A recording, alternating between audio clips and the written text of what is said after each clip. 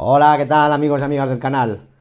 Venga, que os traigo, que os traigo otra cosita, que os traigo, hoy os traigo esto. Bueno, os enseño un poco. Venga, ahora después de la, de la intro os lo enseño. Venga, comenzamos.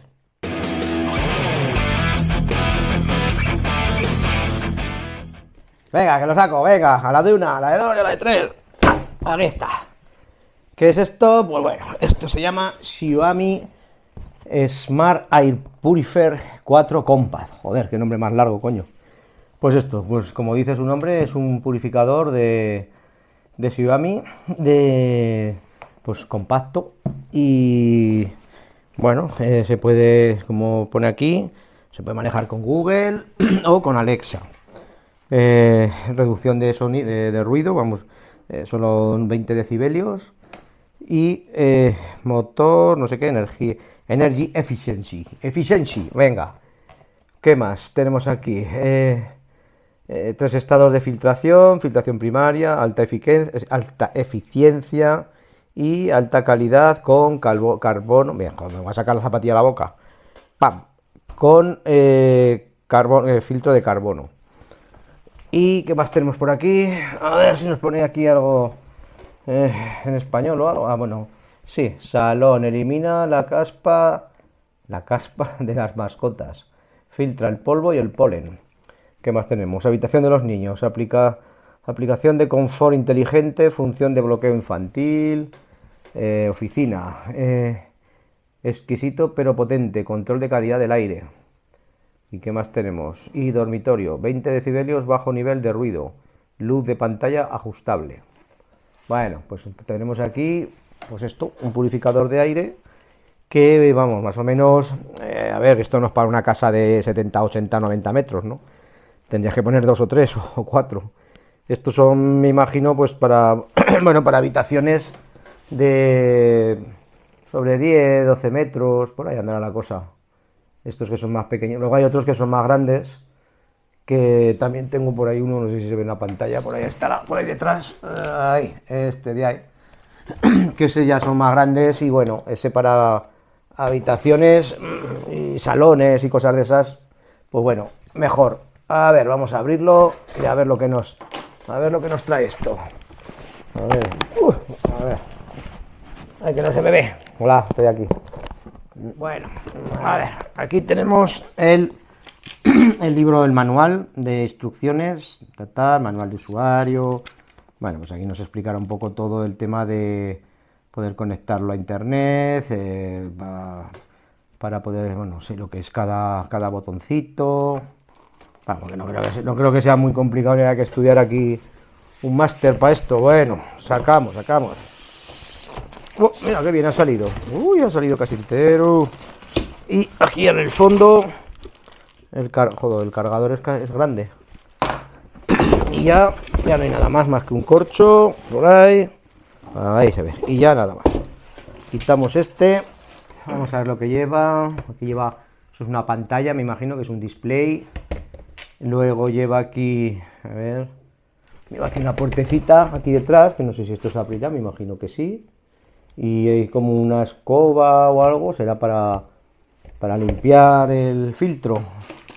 A ver, esto es el, el transformador, como veis, pedazo transformador, poco, la verdad que grande. Y vamos a mirar las instrucciones, un momentito, a ver. Manual en la 28, está en español. Bueno, tendré que ir a por las gafas de leer instrucciones porque no veo nada. Bueno, voy a mirar a ver cómo se abre para el tema de, del filtro y, y a ver qué es lo que lleva.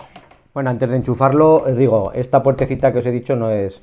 He estado mirando y es un, son sensores para pues para, para ver cómo está el aire y toda esa historia. Estos son sensores y el filtro se quita de aquí. De la parte de abajo giras esto y ya sale el filtro para poder cambiarlo por otro.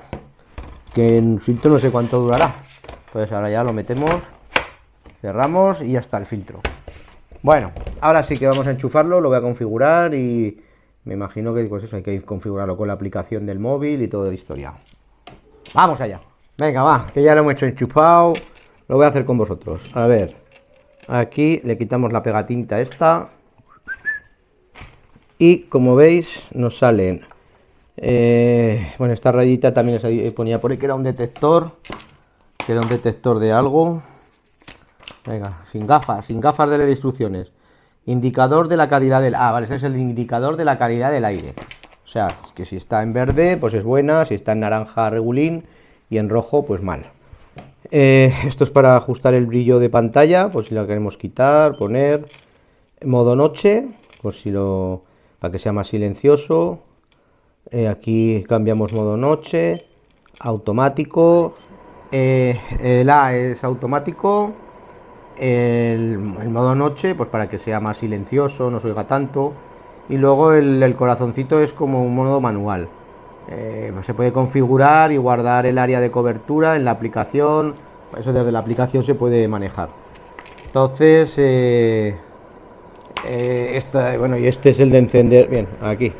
Y este es el de encender y apagar y no tiene ya más misterio. Entonces, ahora vamos a ver con la aplicación cómo, cómo se maneja. Bueno, antes de poner la aplicación en el móvil, os había dicho antes que esta puertecita, que eran unos sensores, tal, bueno, pues esta puertecita se quita más o menos cada medio año y con un secador de pelo limpiamos, dijéramos, porque este es el sensor de partículas. Entonces limpiamos pues, la mierdecilla que hay ahí y aquí también te recomienda con un bastoncillo de estos de los oídos seco darle para terminar de limpiar lo que sea. Vamos, pone aquí que cada medio año por ahí se hace eso.